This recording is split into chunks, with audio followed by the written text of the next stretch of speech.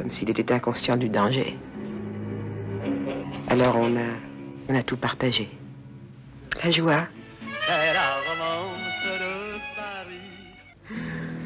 le chagrin, le sommeil.